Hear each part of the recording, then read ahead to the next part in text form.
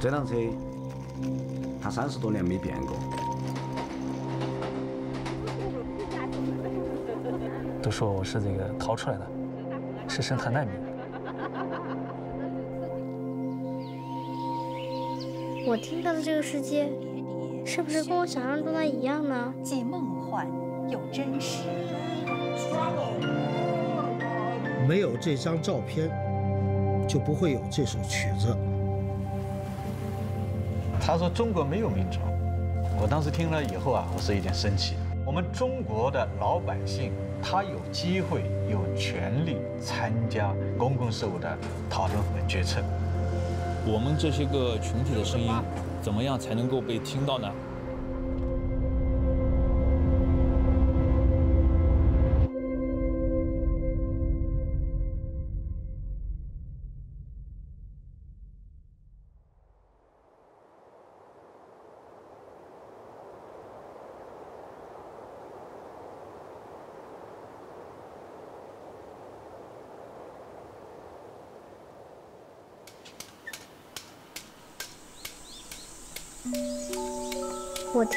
的世界，是不是跟我想象中的一样呢？嗯，春天是春天有很多种颜色，我觉得夏天是绿色的，冬天是白色的，电影院是红色的。慢点，慢点，好嘞，慢点啊，往右边。画面慢慢拉近，减黑。一个戴着黑色边框眼镜的年轻男子走上前，时间倒转，水流倒回。那个我们是可以现场看到这个画面，它可能是亮的，是彩色的，但视障朋友他可能没有那个概念。你说的太多，反而会限制他的这个发挥。对对对对，他这个地方随着他那个音乐起，因为又是一个很抒情的音乐。将前方，我们所做的就是把我们对电影画面的描述加到电影本身的对白和音响的间隙，这样让他们也能够有机会去理解大荧幕上所讲述的故事。那为什么要做等长的这样的无障碍电影？我们明眼人可以看两个小时的电影。为什么我们要让视障朋友们看加工过的、压缩过的影片，笑了笑，而不能同等的去享受一个等长的这样的无障碍电影？既梦幻又真实。江晓峰心中有一所彩色学校的梦想已经成真。开始哦。好，好球。完美飞机，出击。志愿者哥哥姐姐们每学期都来给我们放电影，能听到很多有意思的故事，每一次都很开心。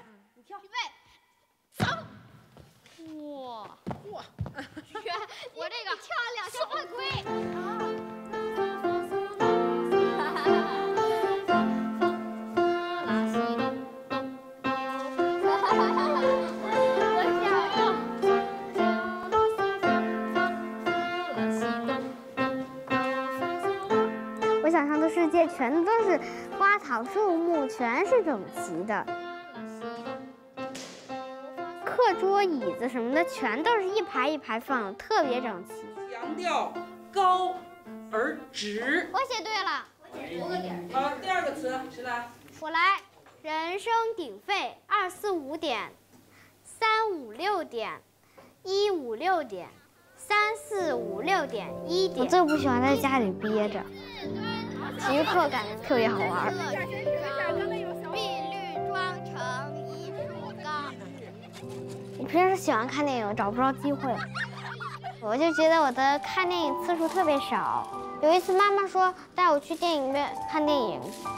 结果呢？不知道什么意外情况耽误了，没去过电影院。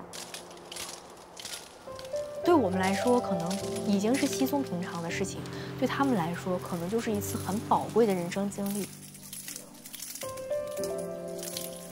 因为它是彩色的，亮着灯，可能我们到时候会用一种意象化的表述来描述红色，我们就说它热呀、烫啊、温暖啊，用这种体感或者感知的感觉。尤其是盲童，他们可能现场就是家里人会带着他们一起去，然后这种就可能是家长就搀扶了，因为家长会更知道他要怎么扶嘛。最好是让他们来扶咱们，因为咱们拽着他吧，就是。他就属于是我被动要跟着你走，他可能自己就把不稳那个方向。如果他们扶着咱们的话，相当于他主动在感知我们的前进方向。一会儿我们出发去看我们的无障碍电影，我们同学们在路上一定要注意安全。今天下雨了，也希望我们家长拉好我们的孩子，我们遵守纪律，好吗？好。可以啊，还有再来一个，好嘞。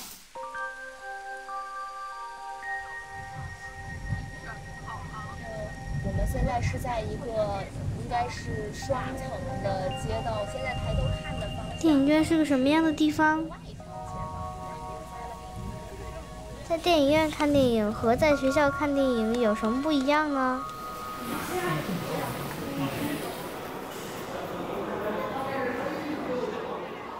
女士们、先生们，我们的影片即将开始，请您尽快落座。将手机调至静音或关机。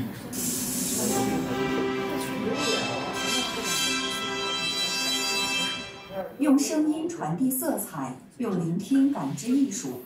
欢迎来到光明影院，我是讲述人，中国传媒大学硕士研究生温若涵。电影院感觉好大呀，椅子感觉好柔软。海洋姐姐说话的声音很好听。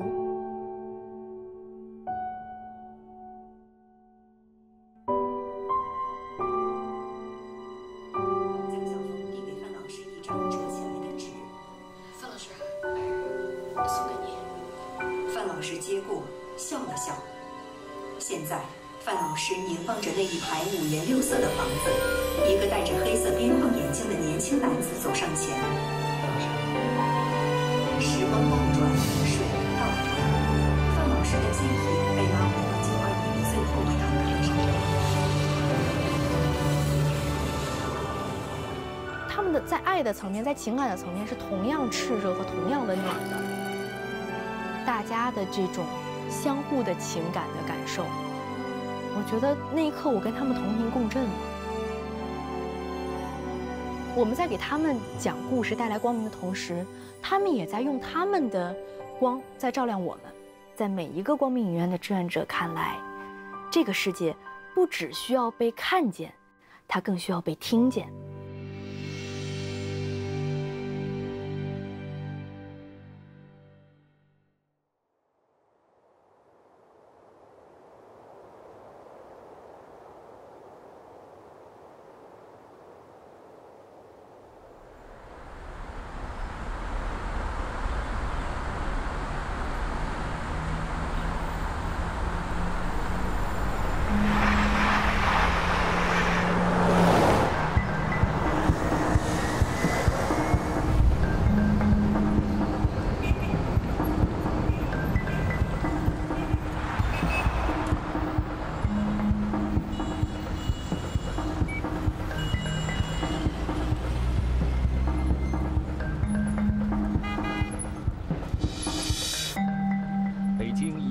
配送员韩某在外卖途中劳累猝死，平台提供两千元抚慰金。近日，广东湛江一外卖小哥撞上了劳斯莱斯。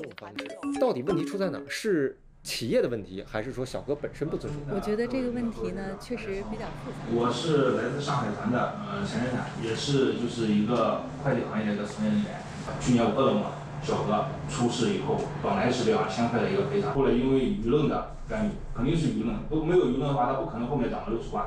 大多数都是外地来的，就是进城务工的，就是为这个基层这个劳动的群体，呃，呼吁我们。就这么个例子你就知道，一个小时的订单，三下做饭呃做做做菜做了半小时，做了四十分钟，倒锅瓶就二十分钟。他炒菜的时间把你配送的时间都占了，对对对最后造成你们必须得赶紧跑。嗯，赶紧跑！如果不超时好，如果是超时不晚点之后，顾客会投诉我们。像我们几个基本都五分钟能达到十几单嘛，而且你这几单不能送完的话，下下个十几单就会排到你手里。超时以后怕客户取消订单，呃，取消订单那个哪方面会哪边会处罚你们呢？公司肯定会对我就是公司就认为是你们的责任。啊，对啊。心里面没有底，不知道这个这一块儿他应该怎么走。刚刚你说的那个五险一金，我们也我是来自这个群体的，因为我也是从事这个物流行业的，主要负责那个邮件的一个处理，上去了。还有装卸。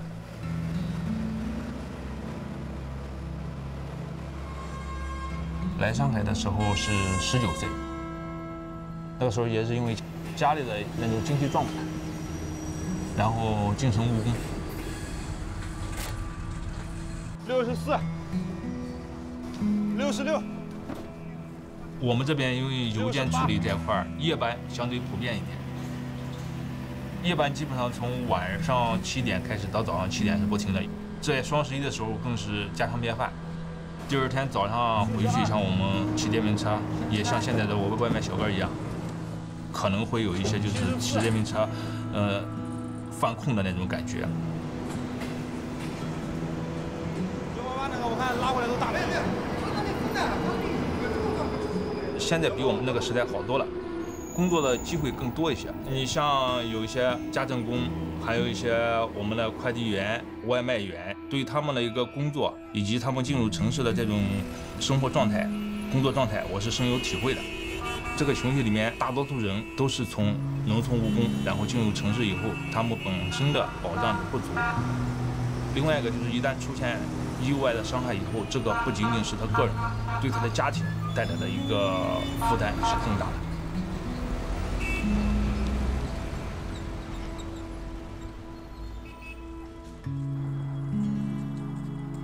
我记得是一个外卖员，他是出了事故以后，最开始是赔偿了两千块。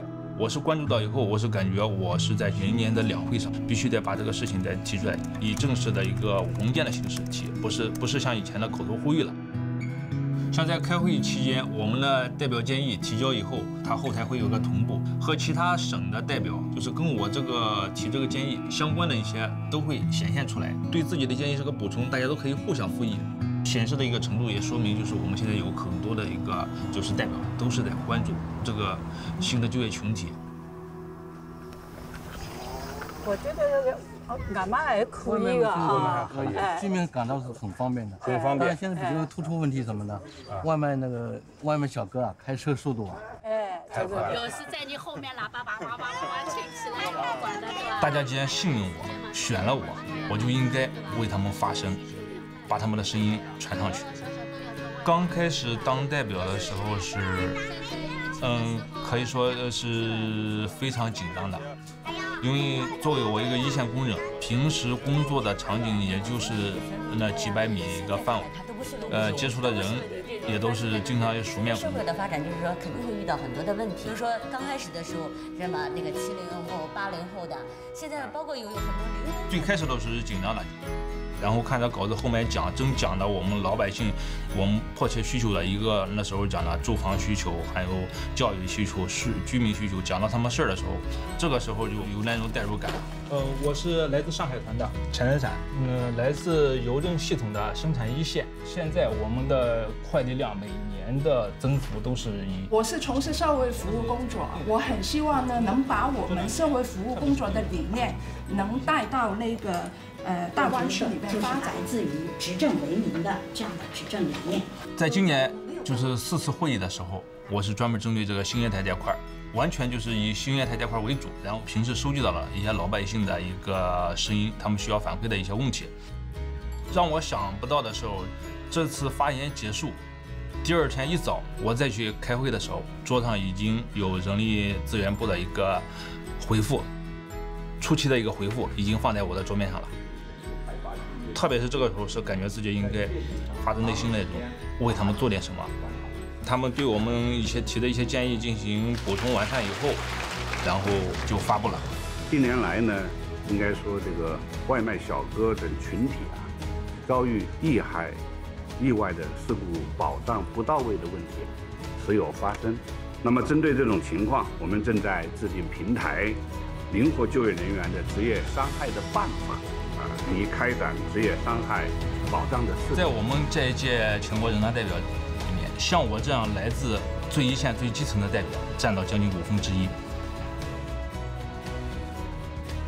让每一个普通的劳动者在这个互联网这个时代，能够可以通过自己的一个那种努力，在每个人所处的那种平凡的岗位上，可以更好的追求自己向往的美好生活。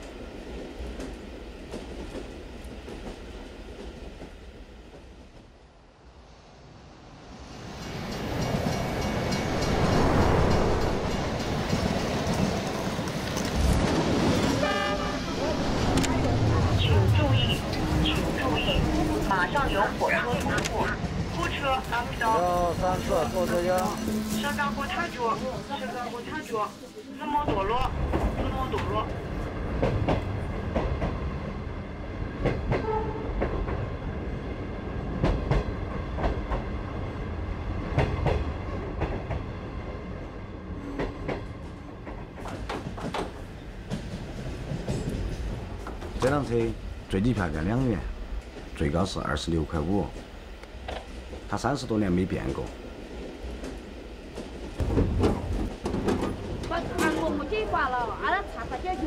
把你们的口罩戴好，口罩戴好，西昌西的方向的啊，这边走。西德的，西德的，从这儿上哈，慢点哈。它经过的都是呃一出去最集聚的地方，最多的还是我们的一些原土高山上的老乡。所谓大凉山，就是就是大山，交通工具、汽车呃无法通行，那么只有依靠我们这个慢火车，几乎是每个周五呃和星期星期日，我们这个车装的基本上是学生，西德一中是不是？学生在我们慢火车上做作业这种现象是很普遍的。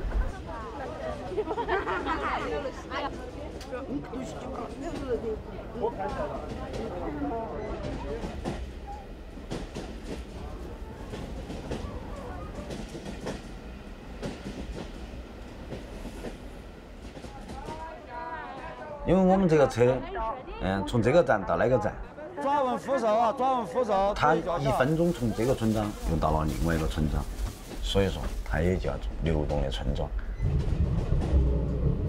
他在行驶当中，那些老乡拿上的东西，他都可以那么相互的在车上呃吆喝起。还没到站就已经把钱放进了自己的腰包里面。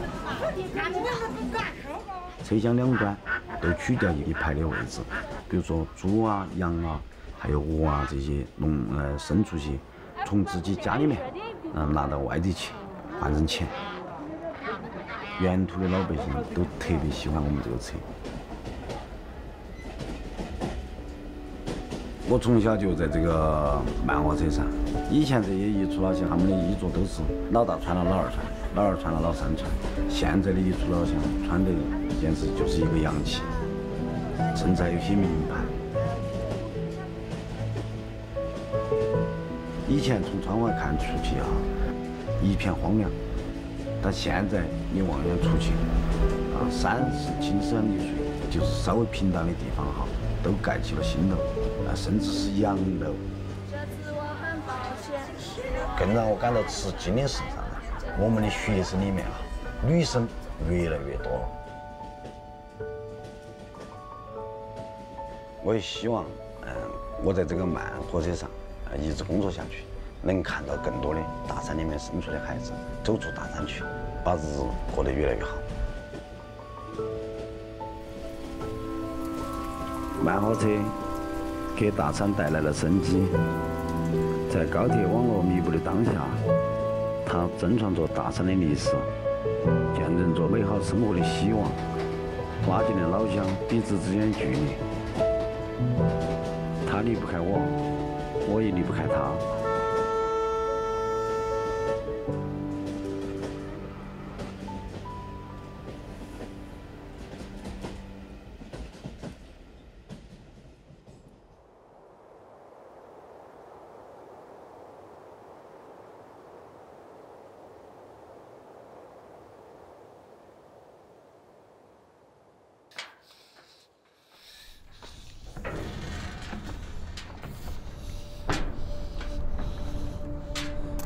十七年前呢，有人说，民情绿洲将会在二零二一年消失，那将会导致我无家可归。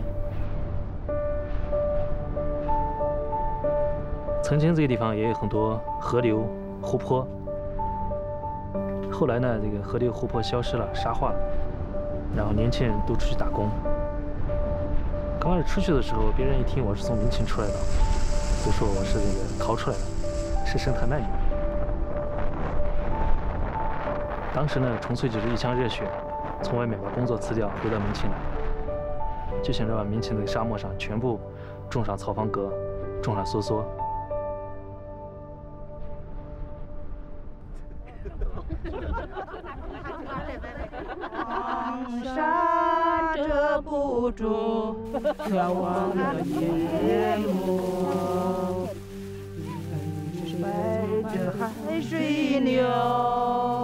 那，它是在沙子上面用这个麦草或者稻草的秸秆呢，做成方格子的形状。几年之后，这个草呢自然分解到土里面去了，那梭梭的根系扎下去，它会把这个沙丘呢固定住，阻挡沙子的流动。这种方式呢，也是我们沙漠地区生活的人们在长时间的这种实践中间总结出来的。这就是我们长了这个六年的梭梭，就是从二零一六年开始种下来的。没有做草格子之前的话，像这种沙子，它风一刮就很容易，呃，整个沙丘呢就会被风吹走。草格子做上呢，它能把这个梭梭的根系能够保护住。薄薄的一个结皮，它的表面的话已经是硬化了，那沙子每次刮风的时候它就不会跑。这个下面的话，你看它们的沙子还是这个松散的，固沙的效果就体现出来了。之前的话，我们是一直是这个。本地人自己在这个做这个治沙，但是这些年呢，因为有这个互联网的出现，从建立网站，然后到后来我们呃微博、博客，然后开始到现在的短视频，还有我们的公众号，通过这样的渠道呢，把这个全国各地的呃志愿者呢邀请过来，在同时的话，我们把呃吃蜜瓜和种梭梭给结合起来。今天带来的是民情蜜瓜，就是吃我们一箱蜜瓜，从里面来给你种一颗梭梭。这样，最终我们陆陆续续这些年下来，也建了这个几千亩地，像这个杭州林啊、上海林啊，还有这个一个一个林子，我们叫吃瓜群众林。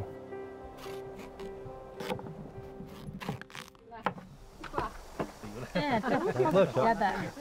不种怀抱，就知道开放种子，水位迷你都下降了。通过是这你压沙栽树树，把那种出来，把提的很些。啊，提多了。实际上，我们保护生态环境，目的还是为了让我们的生活变得更好。和沙漠一起生活的久了，你就会发现，人是依附于这个自然环境来生存的。沙漠其实和海洋、森林这些都是一样的，它是地球上重要的一个组成部分。在我们的农田和村庄周围，我们需要做一些草房格沙障，种上梭梭，来保护我们这个生产跟生活的安全。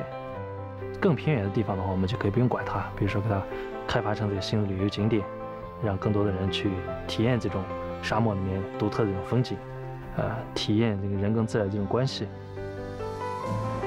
人和自然的话，实际上是需要和谐的这种发展。我们要保护好绿洲，也要找到和沙漠共生的生存之道。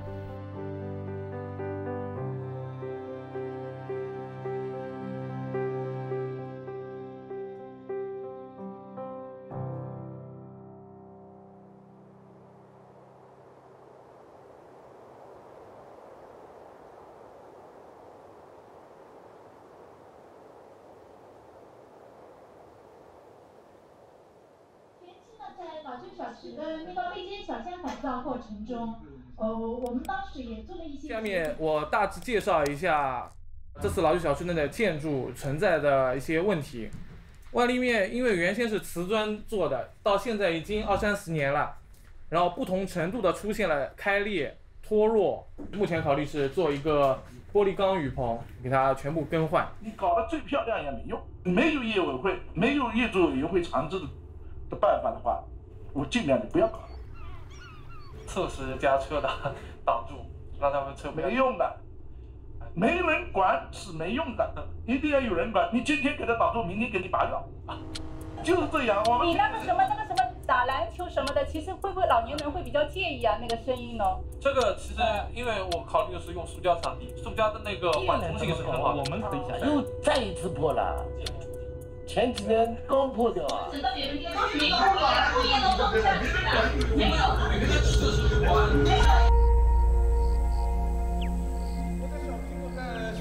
的，那个消防管道可能料，一天在消消防局就五十个，哎，哎，还包括你下面料，不顶的漏水，哎，哎，从七楼漏到六楼，哎，哎，还有那个带油明显的，一个带的漏水，带拖了的油危险呀，哎，他一个人跟到跟到下面下去这个直追拖，还拿个电线，三五个电线，七个电线，都喊不起，哎，半夜是。对吧？你地包就买回来的，嗯嗯，充电桩了，充电桩没了，是那这就呢，这个充电桩改造的时候，哎，还包括在下面。楼上万一严重，楼了就严重，全部都变煤气了。啊。楼上万一严重，这楼上的嘛，晓得啊？全部都变搬成煤气了，还一道里电气都是嘛。这一记功夫，夜了困觉都没办法困，都都讲跌哒跌哒哒，都么跌跌。那个的顶楼哈。跌顶楼对。呃，您个屋里楼呗。都楼，个个家我全部都楼，还我也不讲装修。我们民族恳谈呢，持续了二十多年，它是温岭土生土长的一种民族的实践。首先呢，就要确定一个主题，就是民主恳谈你讨论什么问题。比如这一次我们是老旧小区改造。所以政府呢要事先提出自己改造的方案来。我这个都不要。供排水啊、强电、供气啊，这种外墙面啊这些问题啊。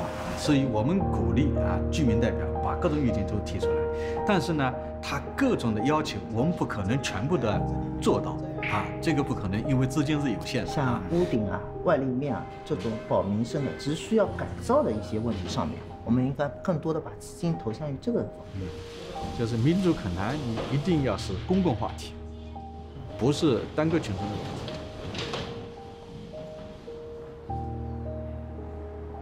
群众他怎么来参与啊？啊，一种呢是自愿参加，每一个群众你只要有时间啊，有意愿，你都可以参加，没有任何的门槛。第二个呢是随机抽抽签，每个人都有机会被抽到。还有一个是邀请啊，就是老百姓他利益相关的，我们一定要邀请他来参加。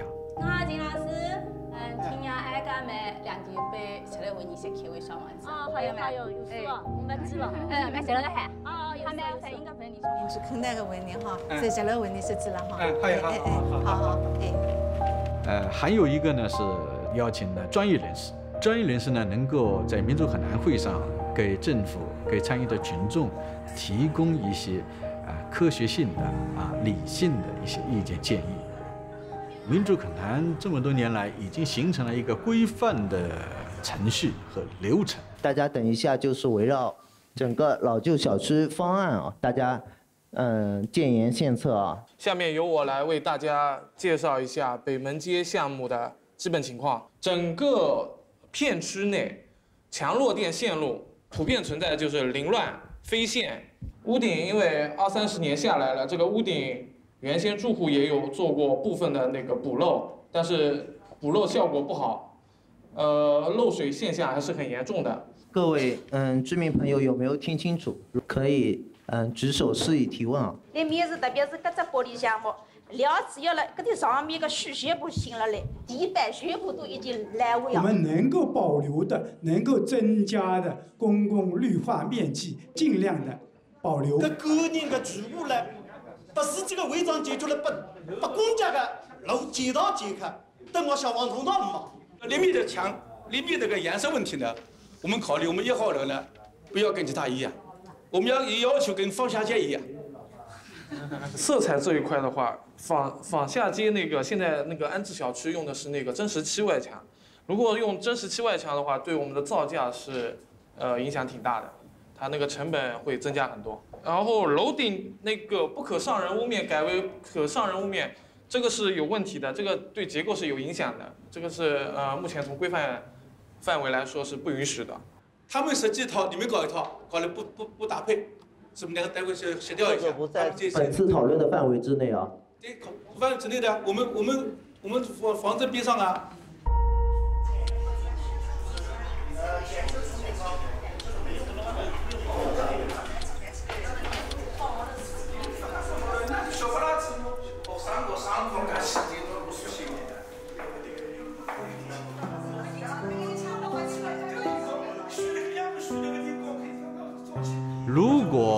意见是一致的，那就没有必要开民主恳谈会了，没有必要协商了。所以肯定有许多不同的意见。群众啊之间他有不同意见，群众跟政府呢也有不同的想法。你如果只喜欢听啊赞同你政府的这个意见的话，你不喜欢听不同的意见，那何必要开民主恳谈会呢？所以政府一定要对不同的意见。特别是群众有争议的意见，要充分的让他们展开讨论，要充分的尊重不同的意见。主要的还是要先考虑把你这个外来的这个渗水这个问题先解决掉。目前我们外立面考虑是全部，无论是瓷砖墙面还是涂料墙面。外区域我们是设置了这个充电棚，充电棚、充电车位、电缆沟进行一个整修，然后建筑周围是进行一个桥架，呃，就强弱电都整纳到我们桥架里面，这样我们外观看上去。就没有那么凌乱。要不再说说呀？好呀，好呀。不是，我是双关系，我公安调查，手帮我双关系。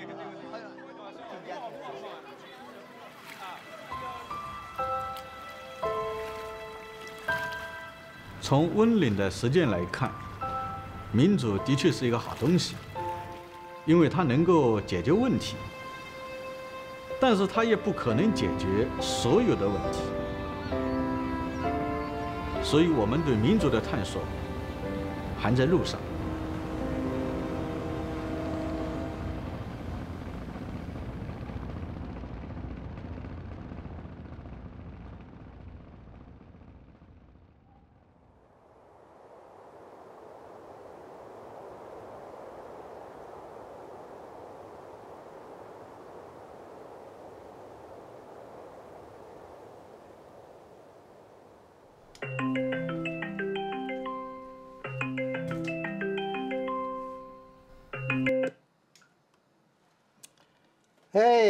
老师你好！你好，你好，王老师好。王老师，你现在身体怎么样？身体怎么样？身体？身体蛮好啊！哎呀，太好了！哦，好，好好，高兴高兴。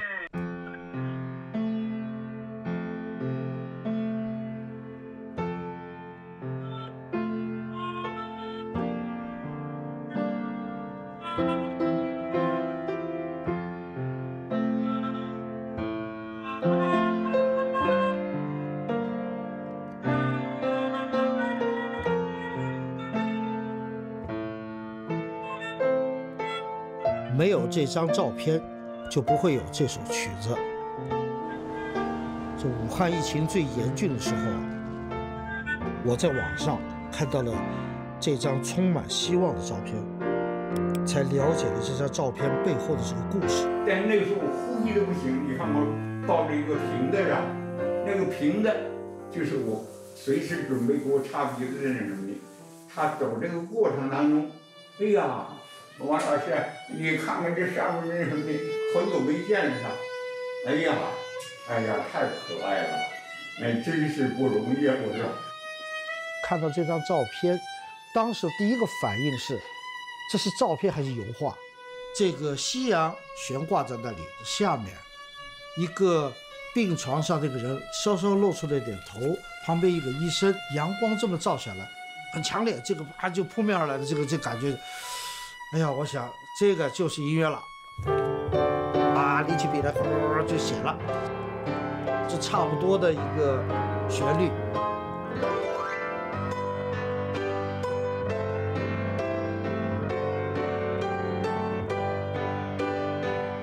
我想，咱们在疫情中，很多的老人救下来，我们国家花的力气，那要比救一个年轻人难得多了。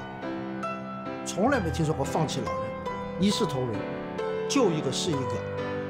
如果不能够生存，什么都别谈，老人就不是人了。我也一天天一天天老起来，谁不老起来？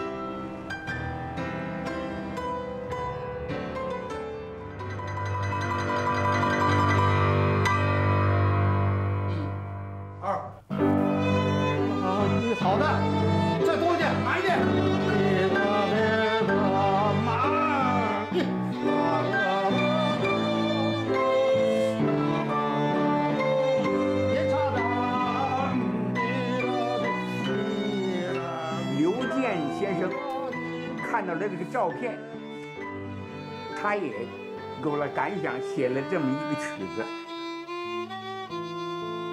我也没看见过他，他也没有看见我。我们是网上，我也感觉到非常感动。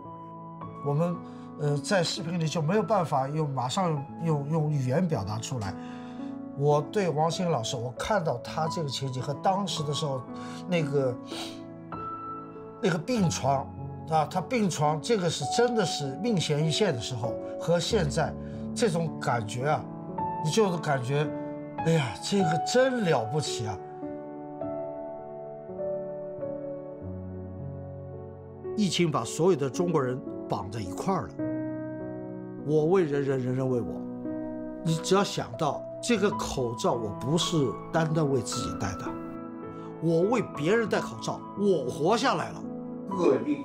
什么北京的呀，什么广州的呀，都来支援着武汉。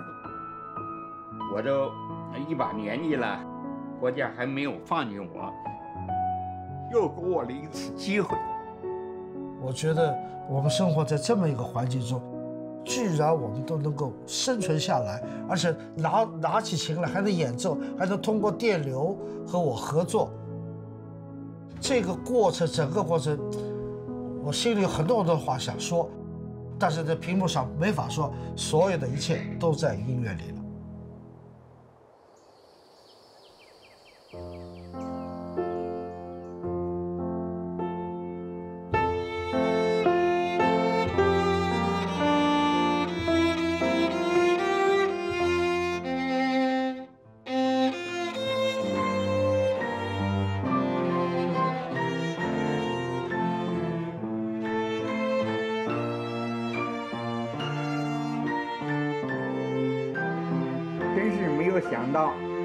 还有拉琴的这一天。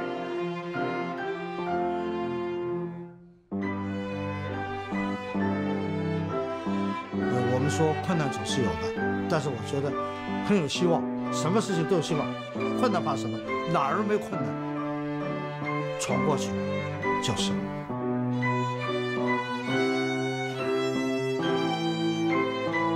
我现在的每天生活都很好，我也很珍惜。我已经都是九十岁了，现在还能期望能能多活几年，争取活到一百岁，能看到我们这个国家一直往前发展成什么样子。